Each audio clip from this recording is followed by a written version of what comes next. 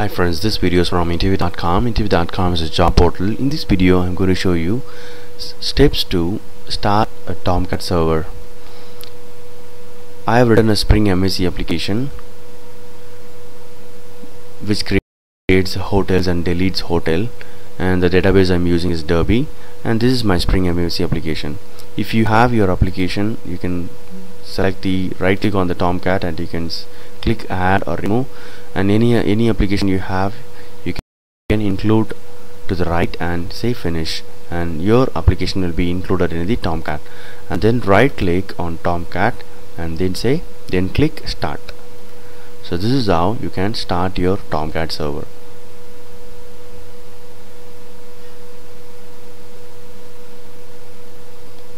My Tomcat server is coming up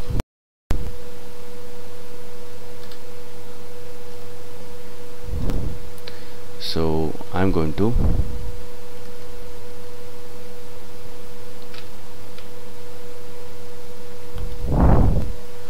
my Tomcat server is running up. Let it start then I will open a page then I launch one of the page from the Spring application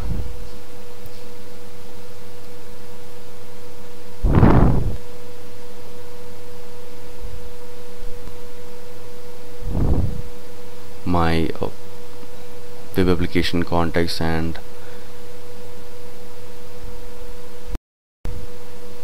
other annotations are scanned and my application started now.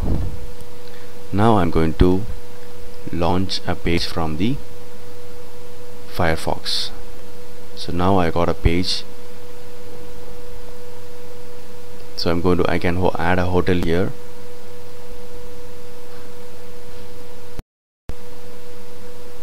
in this page.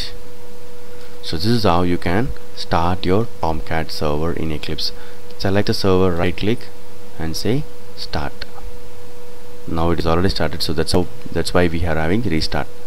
And how do I stop the server? Select right click and stop the server. Hope this video is useful and informative. Thank you and all the best